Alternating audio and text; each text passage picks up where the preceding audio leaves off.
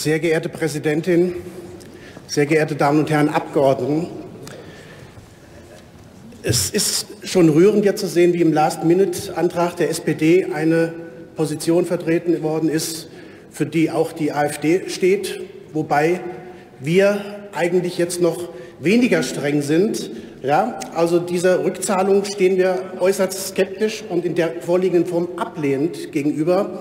Äh, wir wissen aber, dass mit den europäischen Problemen problematisch ist. Man hat sich in vielen Bereichen an eine hundertprozentige Rechtsfreiheit gewöhnt, an einen hundertprozentigen Rechtsbruch, sodass wir es schon für angebracht und pädagogisch wertvoll halten, wenn nur 50 Prozent eines Vertrages erfüllt werden. Ja, also das wäre ein echter Fortschritt, weil die Erfolgsaussichten für die 100 Prozent Rechtskräftigkeit, Vertragstreue und so weiter nach allen Erfahrungen, die man hier in Europa gemacht hat, ja ein bisschen streng scheint. Ja.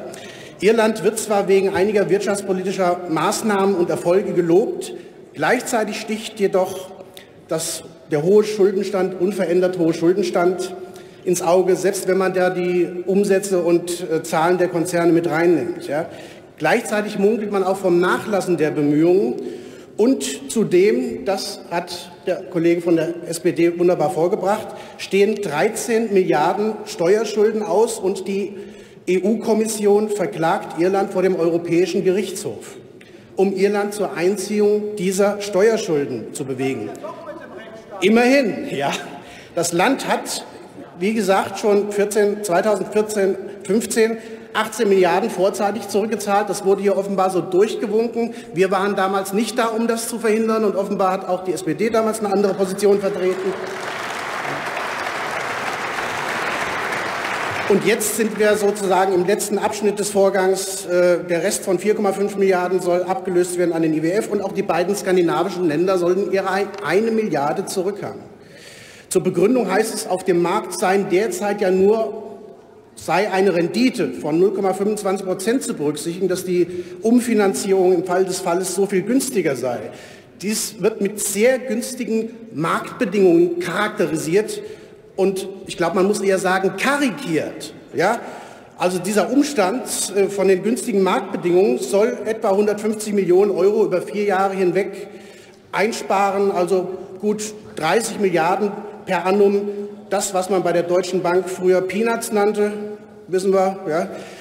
Im Vergleich zu den 3,3 Milliarden, die Irland ohnehin zahlt, ist das eine Summe, die wirklich nicht ins Gewicht fällt und nicht substanziell ist.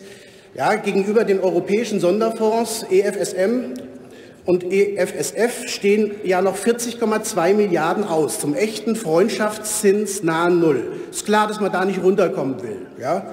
Das Geld anderer Leute, mit dem man quasi gratis oder nah an gratis arbeiten kann, ist natürlich sehr attraktiv. Ja. Wir haben also nicht mit einem Umfeld zu tun, wo wir von Marktbedingungen reden können, sondern wir haben mit einer Geldschwemmenplanwirtschaft zu tun, die maßgeblich auch mit der EZB-Politik zusammenhängt. Und wir reden dabei gar nicht von den Drohverlusten im Tage-2-System. Ja, wir dürfen auch nicht vergessen, dass der Brexit so er erfolgt und hart erfolgt, natürlich auch am negativsten sich auf die irische Wirtschaft auswirken wird. Also jetzt, da das Geld da ist, sollte man doch die Schulden bei allen Gläubigern bedienen. Ja, die Bundesregierung, Herr Altmaier, wäre sehr gut beraten, dafür zu sorgen, dass die vorgesehene Tilgungssumme von 5,5 Milliarden entsprechend der vertraglich vereinbarten parallelen proportionalen Rückzahlung an alle EU-Staaten, die Gläubiger sind, verteilt wird. Und damit ist dann eben auch das Geld deutscher Steuerzahler gerettet. Und die 23,4 Milliarden, die Irland in seiner Staatskasse hat, gegenwärtig, äh, da bleibt noch einiges übrig. Ja? Und wir in unserer Konzilianz, wir sagen ja auch, fangen wir einfach mal an mit 50 Prozent Vertragstreue, mit 50 70 Prozent Rechtsstaatlichkeit, auch in dem Bereich. Da sind wir schon sehr viel weiter. Das ist also der Königsweg sozusagen, der sich hier eröffnet, last-minute-mäßig, der Königsweg einer überfraktionellen Zustimmung zu einer vernünftigen Sache, die ausnahmsweise in die richtige Richtung geht. Stimmen Sie für den Antrag der AfD im deutschen Interesse.